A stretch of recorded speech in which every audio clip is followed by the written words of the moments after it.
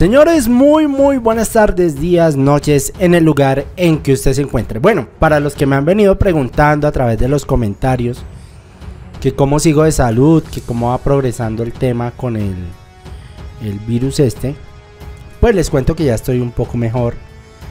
Eh, me dolía la espalda, pero ya, ya, ya parado un poquito, pues me ha tocado tomar algunos medicamentos y ya estamos un poquito mejor. Si llego a toser durante el video, les voy a pedir mil disculpas, puesto que estoy apenas saliendo de esto, ¿de acuerdo? Pero ¿qué es lo que ha pasado en los Estados Unidos? Resulta que este señor Joe Biden, yo no sé en qué cabeza cabe lo que dice este señor y qué tipo de personas le están creyendo a este señor.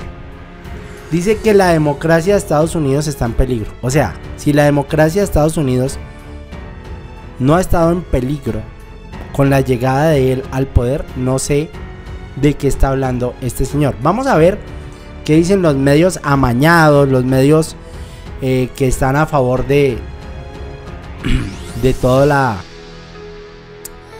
El teatro que tiene este señor Joe Biden y la señora Kamala, Kamala Harris.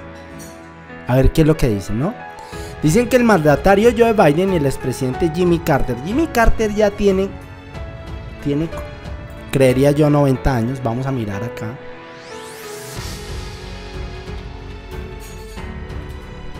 Vamos a mirar, a ver. Ah, busquémoslo acá. Debe tener 90 años. Jimmy Carter. 97 años tiene este señor. O sea, no quiere decir que no le podamos creer a una persona de elevada o de alta edad. Pero pues es un señor que ya tiene que estar retirado, que digamos que su opinión no es tan importante como la opinión del expresidente, el titán Donald Trump.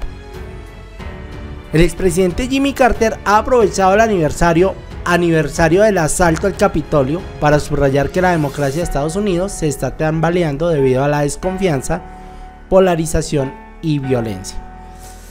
Bueno, dijo por lo menos algo coherente. Dijo que los Estados Unidos estaba cada vez más polarizado. Y esto se ve obviamente con la llegada de Joe Biden al poder. Y la salida de manera absurda del señor expresidente de los Estados Unidos, Donald Trump. Dice que la violencia ha aumentado en el país, claro, era de esperarse eh, debido a la mano tan blanda que tiene este señor Joe Biden con todos los temas que han ocurrido en los Estados Unidos. Temas gravísimos además y el tema también de inmigración que ha aumentado, ha aumentado el tema de la inseguridad en los Estados Unidos, por ende la violencia en este país.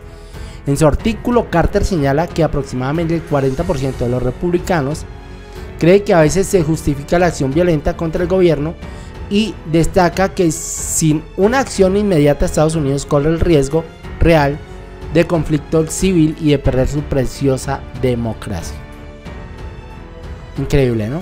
Y pues obviamente plantea algún tipo de solución a estos problemas que se están presentando en los Estados Unidos. Lo que sí es cierto es que hay aquí un denominador en común y ese denominador es Joe Biden. Polarización, ¿por qué? Porque el mismo Joe Biden ha permitido que esto ocurra con su llegada al poder de manera como haya sido. Polarización, ¿no? Violencia porque él ha permitido que lleguen personas de todos los países del mundo a los Estados Unidos sin siquiera revisar su documentación o su pasado judicial o su pasado delictivo dentro de los otros países o el país de origen de estas personas. Esto es lo que está pasando, este señor se les quiere dar de buenachón, de buena gente, vengan todos a los Estados Unidos, hagan lo que ustedes quieran y estas son las consecuencias que se están viviendo en estos momentos en Estados Unidos. Mi nombre es Javier, gracias por preguntar por mí, nos vemos en el próximo video y